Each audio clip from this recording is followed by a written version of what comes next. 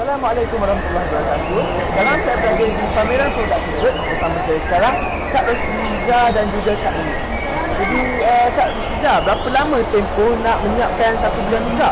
Kalau bergantung pada uh, besar ataupun uh, kecil. Lepas tu dalam biasanya kalau yang besar tu dalam sehari lebih lah. Dalam Dalam sehari setengah ha. ha. Kalau yang kecil tu dalam satu hari pun memang siap. Sehari tu memang siap kalau Ah. sehari tu. Kalau yang besar tu lebih kurang satu minggu Ha. Eh satu, sehari, sehari, sehari setengah dah. Setengah lah. Ha. Ha, boleh. Jadi uh, Kak, uh, berapa, berapa lama uh, akak belajar untuk macam menyempurnakan teknik buat tiga ni?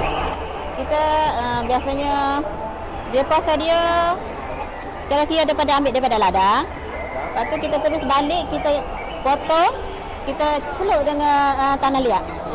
Sebab tanah liat tu kira pengawet. Oh, jadi nak buatkan uh, tikar tahan lama.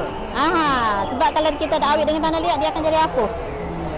Uh, jadi macam uh, lepas pada kita celup dengan tanah liat tu kita terus jemur. Masa situ proses dua hari. Oh. Ah, lepas proses dua hari tu lepas kira kering baru kita boleh tombok. Jadi memang mengakan proses yang lama dah untuk buat tikar. Ah, ya banyak step. Ah, terima kasih Kak Suza dan juga Okey. Kak Mimi. Saya. Yang anda tahu, uh, buat bukan ini ada masa yang sangat lama dan itu kita juga menghargai warisan kita.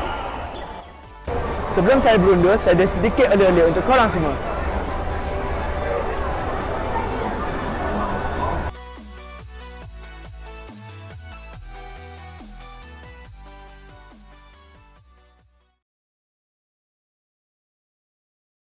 Jadi hargailah seni warisan kita. Saya Haris Izin, laporkan untuk Awani Junior Berita Segenap Dimensi.